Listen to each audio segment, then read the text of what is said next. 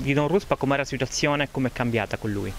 Con lui è cambiato tutto, è cambiato tutto, una persona molto, molto intelligente, molto umana, eh, umana con gli altri, con tutto, guardi. Eh, io mm, non ho parola di, di guardi, quando ieri ho sentito che era, lei diceva guarda sai chi è morto? Io Addirittura quando lui era alle revisioni, eh. che era ancora un ragazzo, andava là, portava la caramella a tutti gli operai, tanto per dire l'umanità che ha sempre avuto e me l'ha fatto conoscere lui avendo la zia qua nell'istituto.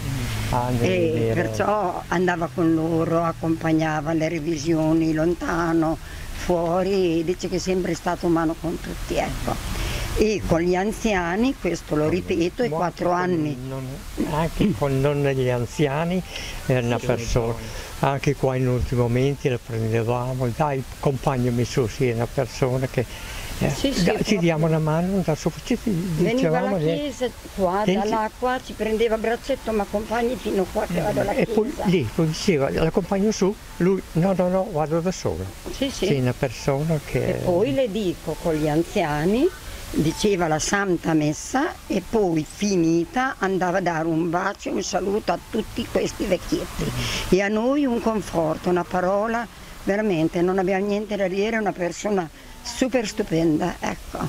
Però il ricordo più che me lo ricordo quando lui è andato all'ospedale, che siamo venuti e sono andato su a trovarlo mi ha detto mettiti a sedere che adesso diciamo due parole con te.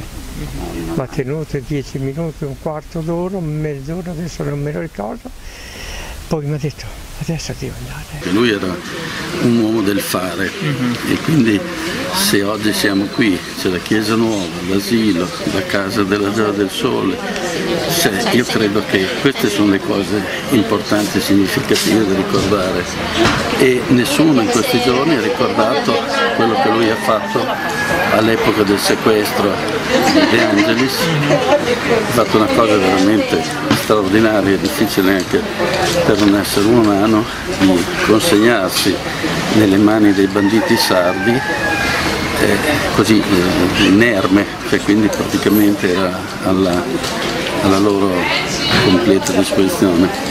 E, e, credo che questo è un, un atto di, di, amore e di rinuncia alla propria vita che è una cosa assolutamente straordinaria, assolutamente umano. Lui era, trasmetteva un senso di umanità eh, guardandolo, sentendolo parlare, eccetera. Quindi questo è il, è il carattere più distintivo che, che, che, che tengo nella mente, oltre a tanti ricordi personali, perché lui era sostanzialmente, essendo nato come eh, qui in questa chiesa, ha cominciato a frequentare la Maserati e quindi è sempre stato di famiglia e quindi come tale lo, lo continuo a considerare ancora oggi. Insomma.